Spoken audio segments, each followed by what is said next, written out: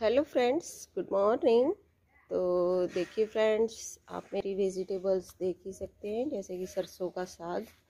कितनी अच्छी ग्रोथ हुई है मेरे सरसों के साग की। तो आज मैं इसी सरसों के साग की, यानी कि सरसों की हार्वेस्टिंग करने वाली हूँ। और साथ ही साथ आज मैं मेथी की भी हार्वेस्टिंग करूँगी। मैंने अपनी पिछली वीडियो में आप लोगों को बताया था कि मैंने पालक की हार्वेस्टिंग की थी तो इस बार फ्रेंड्स मैं अपनी मेथी की हार्वेस्टिंग करूँगी। तो आप देख सकते हैं, मेरी मेथी कितनी बड़ी बड़ी हो गई है और इसी को हार्वेस्ट करके बताऊँगी, पर पहले आप देख लीजिए मेरे सरसों के साग और पालक की कितनी अच्छी ग्रोथ हो रही है, पालक की और सरसों की और मेथी की।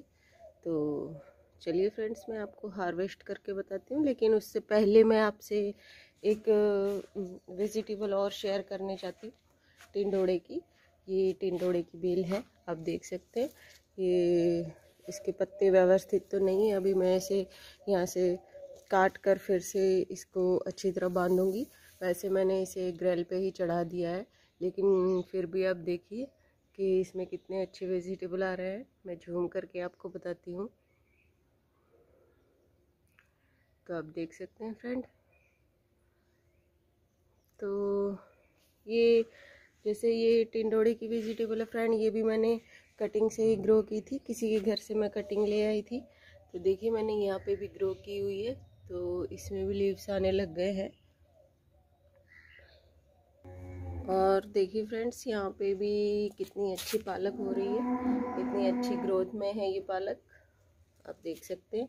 मैंने दस दिन पहले भी एक वीडियो डाला था पालक की प्रूनिंग पे।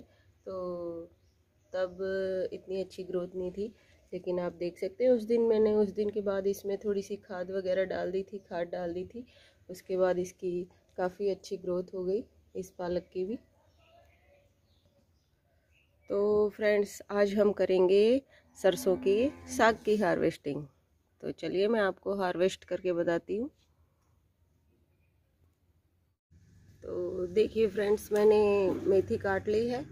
मेथी काट कर अब मैंने पालक भी काट ली है और अब बारी आई है सरसों की। तो अब मैं सरसों की हार्वेस्टिंग करूँगी। आप देख सकते हैं, मैंने मेथी और पालक काट कर यहाँ रख लिए हैं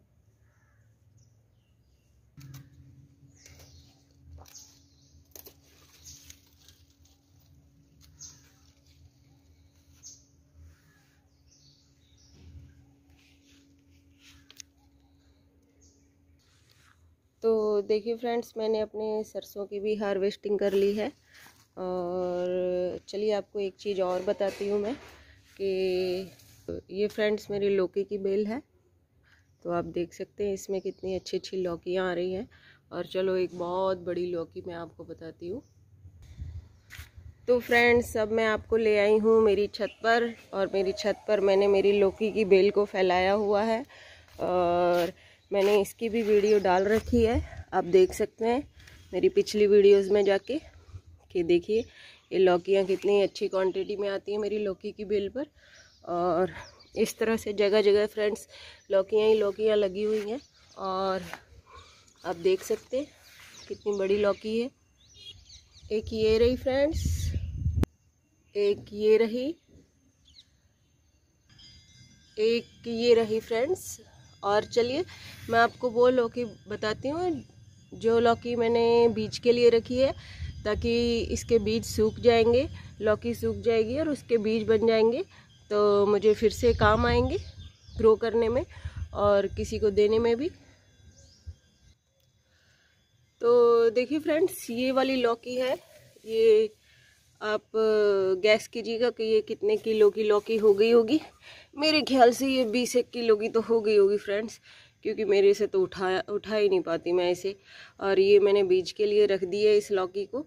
और ठीक है फ्रेंड्स, अगर आपको मेरा ये वीडियो पसंद आएगा तो प्लीज़ मेरे वीडियो को लाइक भी कर दीजिएगा, शेयर भी कर दीजिएगा, और मेरे चैनल को सब्सक्राइब ज़रूर कीजिएगा friends.